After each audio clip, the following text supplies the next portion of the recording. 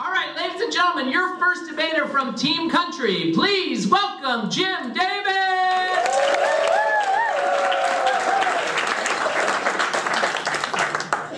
Negin, you ignorant slut.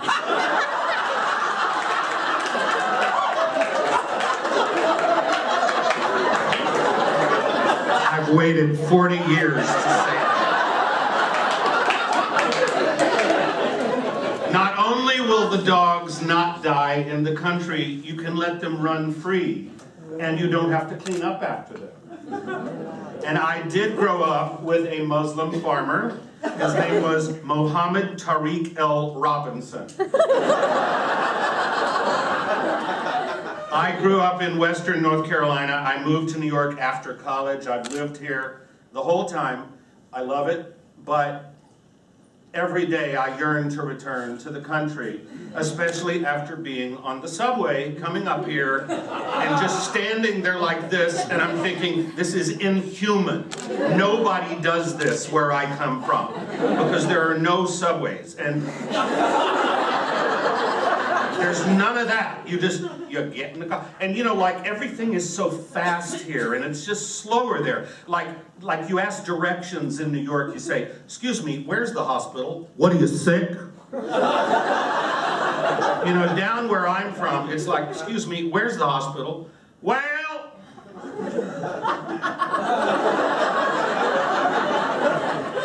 you're gonna get in the car. And then you're going to drive about 45 or 50. How far? Earl. How far is he going to go? To the hospital. The hospital. About 45 minutes down to where the water tower used to be.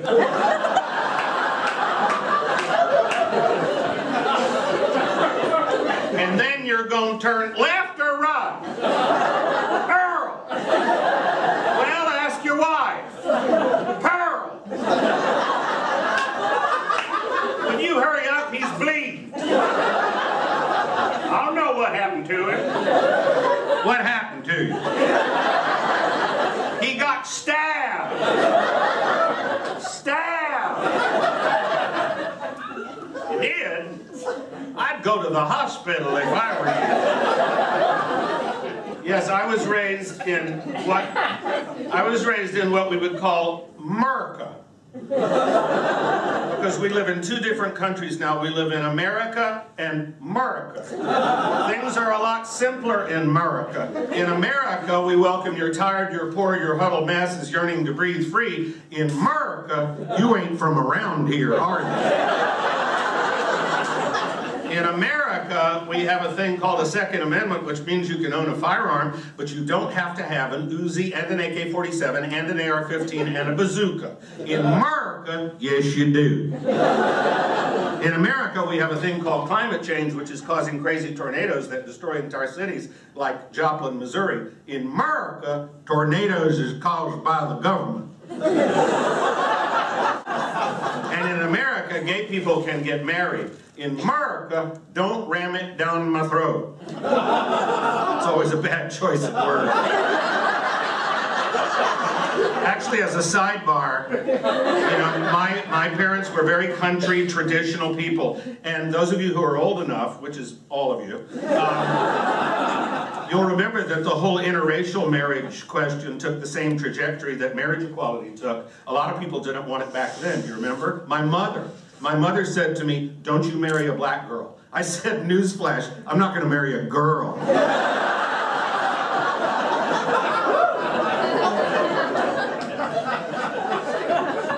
But when you live in the country, you have three things that people who live in a city do not have. A front porch, a backyard, and a crawl space where you can hide the bodies.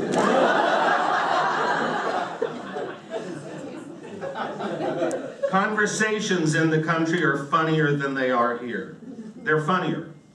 Like my father is 92 years old, and he was talking to a guy at his retirement community, and he said, I've planned my funeral, and I've paid for it. And the man said, when is it?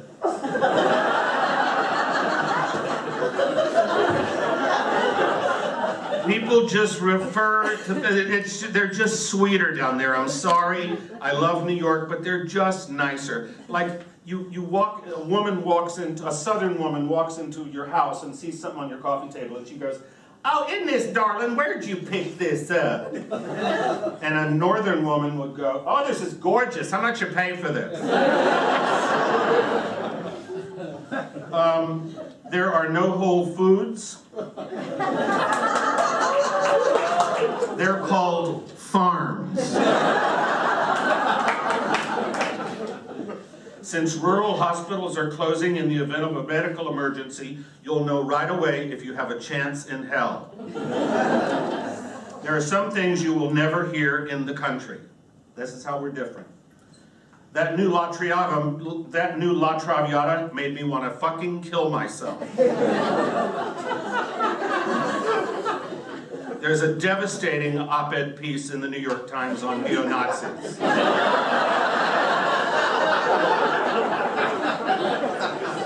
There's a new sling at the mine shaft.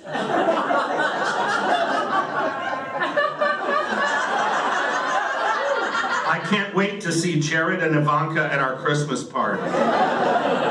There are things you will never hear in the city. And you tell me which is better. You decide now. You're the voters. I haven't heard a siren for 30 minutes. Did you get the raccoon out of the attic? I can't wait to see Jared and Ivanka at our Christmas party. In uh, New York, or in a big city, it helps to know a foreign language. In the country, these are the only Spanish phrases that you should even feel obligated to learn. Habla usted inglés, which means, do you speak English? Cuánto, which means how much? Donde puede cambiar este cheque, which is where can I cash this traveler's check? Por favor, envíame un butones para recoger mi equipaje, which is please send me a boy for my luggage.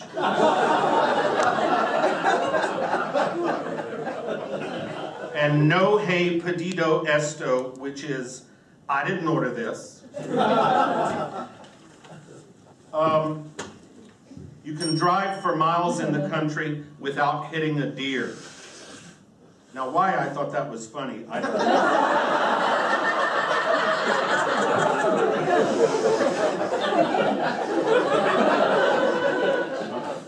If you want to talk politics, there are loads of senior citizens and diners that CNN always seem to be interviewing.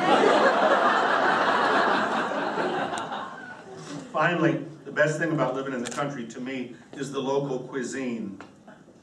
Applebee's, Olive Garden, McDonald's, Burger King, and then six miles down the road, Applebee's, McDonald's, Olive Garden, Burger King. Thank you.